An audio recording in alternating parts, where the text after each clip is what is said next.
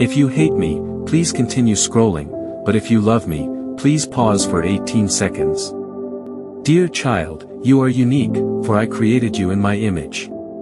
If you believe in the power within your heart, you will discover that dreams can change everything, allowing you to embrace endless possibilities this weekend.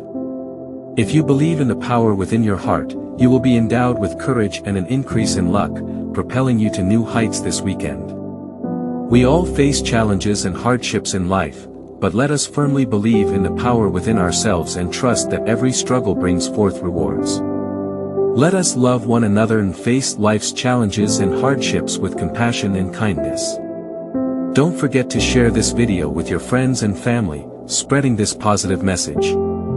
If you refuse, remember that each one of us has the opportunity to change our own destiny, so never give up.